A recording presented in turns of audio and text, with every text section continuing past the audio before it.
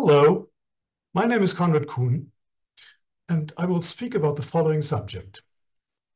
Thinking in Structures, working as a dramaturg with Robert Wilson. As a long-standing collaborator of Robert Wilson in the field of dramatic theatre and opera, I have always been amazed by his special approach to a given subject. Whether it be a classical or modern drama, a production based on a theme to be developed freely, or an opera, the first thing Bob examines or invents is the structure. Here is one example. When Wilson started working on Einstein on the Beach together with Philip Glass in the spring of 1975, all they had was the title, an intriguing title. It was clear that this opera, I'll come back later, to what this term means for Bob, was going to deal in some way with Albert Einstein as a seminal figure. Einstein was also a musician. His discoveries about the relation of time and space, known as the theory of relativity, have changed the world, including consequences like the invention of the atomic bomb or the Apollo mission to flying to the moon. That was the subject. Otherwise, no text, no plot, no biographical storyline. The character of Einstein was to be a solo violinist in the pit. The first thing they did was to set up a structure. How many parts is our opera going to have? What duration will each part have? They ended up with a design for the time structure, giving each part a precise length. The first act was to be, say, 42 minutes long, the second one 53 minutes, and so on, with the so-called knee plays in between, short scenes that would serve as junctions between the acts. The next step would be that Bob drew sketches of the set.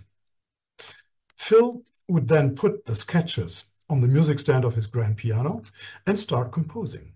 Still no lyrics, libretto, or anything of the kind. In fact, at some moments in the completed score, the chorus has just numbers to sing, since there was no other text available. One, two, three, one, two, three, one, two, three, four, five, six, seven, eight. Only then Christopher Knowles came into play and improvised text for certain scenes. Cascades of words sounding much like the ones Dada pioneers like Hugo Ball or Kurt Schwitters invented. The result was a show that had a tremendous impact on the theater of the Western world, a landmark production. One word about the term opera. As Bob would say, opera comes from the Latin word of work, opus. That's what theater is for me. When Wilson started creating his first works, they had no text nor music. He would call them silent operas. For example, Deaf Man Glance, which premiered in 1971. And he would quote John Cage. The most beautiful music can be found in silence. At that time, Wilson would decline any offer to stage an existing play. When he met Eugène Ionesco in Paris after the splash Deaf Man Glance, Le Regard du Sourd had made in France, Ionesco would ask him to stage Rhinoceros. It was only 40 years later that Bob took up the proposal for a production in the Romanian city of Craiova in 2014 I had the privilege to work on. To avoid what Bob would call ping-pong dialogue, he introduced the figure of a narrator who was reciting most of the text. Simultaneously, the actors would play the scenes silently. The result would be a Verfremdungseffekt or distancing effect. To use a term of Bertolt Brecht, who has always been a strong influence for Bob. The same applied for another production I collaborated on, Oedipus by Sophocles. The special challenge was to bring this ancient Greek tragedy to the Teatro Olimpico. It was the first roofed indoor theater in modern times built by Italian architect Andrea Palladio in the city of Vicenza. It opened in 1585 with precisely this drama, the set representing the city of Thebes with its seven gates. And this set is still in place. Of course, it's a museum. You're not allowed to come any nearer to it than one meter. On the remaining stage in front of this set from 1585, Wilson staged a completely new version of the Sophocles play. Since the Palladio Theatre is built after the model of the ancient Greek amphitheatre, it was decided to open the production in the Teatro Grande of Pompeii, as it has been dug up out of the ashes of the Vesuvian eruption in 79 AD. The stage has the same shape. In order to avoid the dialogues, I proposed to reverse the dramaturgy of the tragedy. Instead of Oedipus finding out about his past bit by bit, questioning a variety of people, ping pong, we told the story of the myth chronologically in the order of the events, starting with his childhood. The oracle foretelling that he was going to kill his father, and so on. I relied only on the, on the original text of Sophocles in an Italian translation of the early 20th century without adding a single word. It just wasn't used as dialogue. Again, what Bob did first was determining a structure. There were to be five acts. The duration of each was decided without knowing what parts of the text would correspond with which part. The five parts were put in relation to each other. The first was echoed in the fifth, the second in the fourth, the third being the center. The five acts were freely improvised during a staging workshop at Watermill. Only when the structure had been established, I suggested bits of the text for each scene spoken again by a narrator. The main character, Oedipus, was a dancer. Typical approach designing the structure is determining some of the following features. Is a scene or part in relation to the others rather calm or vivid, peaceful or violent, bright or dark, fast or slow, accelerating or slowing down, crowded or solitary? Is there a deductive process or an additive? In Oedipus, for example, in one scene, the dancers carried folding stairs on stage, building several rows that were later destroyed by Oedipus in a desperate outbreak, the climax of the show. Whereas most dramaturgs, especially in the German-speaking countries, tend to concentrate first on the literary text, the musical genre and specific form, or the historical, cultural, and artistic background of a subject, Robert Wilson thinks in a more abstract way. What he looks into at first is always the basic structure of a theater evening, visually, dramatically, and musically. In Bob's words, many stage directors tend to study only the text, trying to stage a play or an opera from there. In Western culture, as André Malraux has put it, theater, quote, has been drowned by literature. Therefore, it is shocking for the audience if the other elements of theater are being treated as being equally important. Go to see the Balinese theater, the Indian Kathakali, the Peking opera, or the No theater of Japan. It's all about form. Setting up a structure when conceiving a theatrical production is a creative process of its own kind. Before dealing with the contents, this structure is going to be filled with. This may seem arbitrary, but it's always linked to a deep understanding of the subject. When we start discussing an existing work or a subject to draw a new work from, the one question Bob always puts is, what is it about? Say it in one sentence. A difficult task for a dramaturg like me. We tend to talk a lot. Not with Bob although there are exceptions. Let me tell you the story how I first met Bob. That was back in 2010 at the Opera House of Zurich. I had been admiring his work for decades, but never had the chance to work with him. I was appointed by the management to serve as his dramaturg for the production of Bellini's Norma. Having heard that Wilson has a tendency of being shy with a new collaborator he doesn't know yet, I told myself before the first meeting that I would not say a word. When we were all seated around the long table, he put the question, what is the overture of Norma about? No one dared to answer. After a long silence, I plucked up courage and began to talk, talk after all. I said the whole story of this opera is a confrontation between the male principle, pictured in a beam of sunlight, and the female principle, metaphorically expressed by the moon. Norma's famous prayer Casta Diva is directed to the goddess of the moon. This basic topic can be found musically in the overture. While I was pointing out which section would stand for which of the two principles, Bob had taken up his pencil and started drawing. After 10 minutes, I finished. And he shoved over a series of sketches picturing what would happen in front of the closed curtain during the overture, asking, Do you think this will work? And I enthusiastic, enthusiast, enthusiastically answered perfectly well. He had translated my speech into images. The male principle was represented by straight lines, the female one by circles. Then we pick up another example of musical theater. In 2015, we had a production called Adam's Passion. It was based on music by Estonian composer Arvo Pärt. The venue was the Noblessner Foundation in Tallinn, a former submarine shipyard, a hall of 40 meters by 60, huge.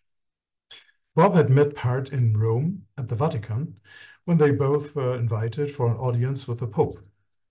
Bob would say, I've always admired your music. I would love to stage something with it. And Pärt answered, I've always admired your theater. Please feel free to use any of it. During the workshop in Watermill, we would listen to a variety of pieces by Pärt, and I would give Bob information on their structure in fact, Pärt's way of composing is strongly based on very abstract formal principles. One example, Tabula Rasa, a composition from 1977. It is structured, among other things, by a chord of the prepared piano that is played eight times. Each section of the of each section it opens is twice as long as the previous. So the moments when you hear the chord are stretched out in time. This is something Bob can immediately relate to.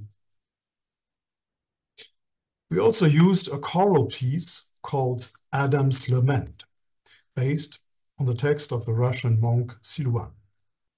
The set consisted of a stage with a cyclorama as backdrop, typical for Wilson, and a sort of narrow runway stretching out into the audience. The main character, called a man, was again a dancer, the same who interpreted Oedipus, Michael Theophanous. He was naked. During the 20 minutes duration of the first section of the evening, he would walk in slow motion from far upstage to the very top of the runway, where he would pick up a tree branch with leaves for the next part. Adam's Lament tells the story of Adam after he has been driven out of paradise. The chorus expresses his feelings of guilt. Arvo Pärt assisted both the general rehearsal and the opening night, after which he came to me asking very much upset, why did you change it? At the end of Adam's lament, Adam was kneeling down asking God for forgiveness. It didn't feel like that tonight. I said, Well, all the actor does is picking up a tree branch. He did it during general rehearsal the same way he did it tonight. Arvo, who is a man of deep Christian faith, said he was not asking God to pardon him? No, he was picking up a brush. And the composer answered just as well. This story shows how every spectator can have their own associations about what they hear and see during a Wilson show. As Bob would say, I never try to tell the audience what they are supposed to feel or think. I'm not interested in psychology on stage. I have no message. It's not about interpretation. I don't want to impose an idea on the spectator. It's up to them what they experience. Experience is a way of thinking. Zen philosophy tells us about this. I follow what I experience, and I try to stay open. Another revolutionary feature of the theater of Robert Wilson. What a relief for the German playwright Heiner Müller when Wilson staged his drama Hamlet Machine back in 1986. At first in New York in English, then in Hamburg in the original German, both were students of a drama school. Müller had seen many interpretations of his play, trying to make sense of the phrases, full of allusions, full of meaning. Most of these stagings only illustrating the text, bringing nothing new to it. What did Bob do? He invented a choreography of movements in a set with nothing but tables and chairs and a tree. Then he had this pattern repeated three times, each time rotating the set by 90 degrees. So you could see the identical movements of the group of actors four times, but each time from a different perspective. A totally abstract way, of a totally abstract structure, at first sight in no relation to the play. Still, it resonated with the text in many ways, leaving anyone in the audience the freedom to have their own associations.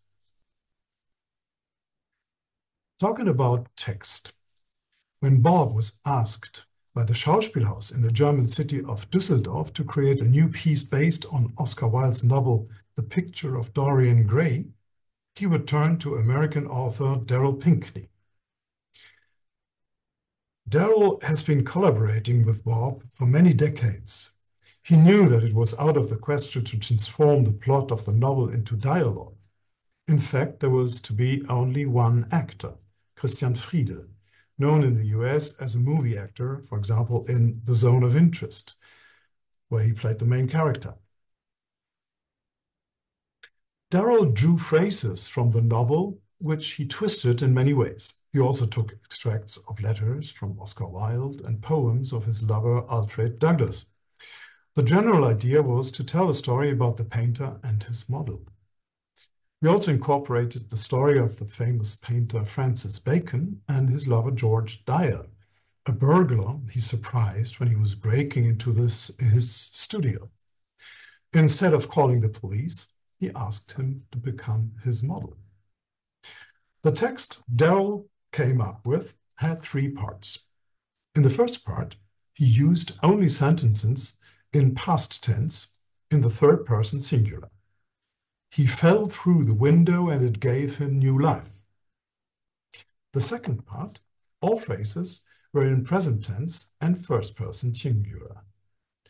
I look in the litter of tin tubes and dry brushes, looking for my maker. And the third part, still in present tense, was in the second person singular. When you are not on your pedestal, you are not interesting.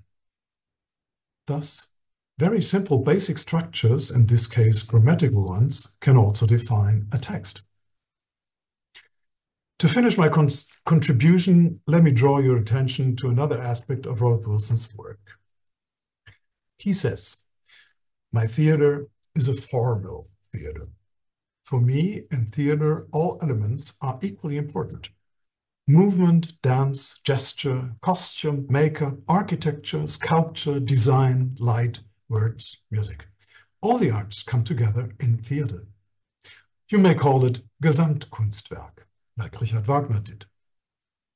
That means that each of the cited elements has its own right and is treated independently. And it means no illustration. What one element expresses does not to have and does not have to be doubled by another element. If a scene is tragic, maybe the actor will play it with a smile, and the scene has a bright look. As Bob says, black can be seen only against white. Life consists of contradictions. A Wilson show, therefore, is much more real than all the performances aiming at realism. Often I have heard Bob say to his actors, the stage is not a bus stop. You can't stand or walk on it the same way you do in the street. Indeed.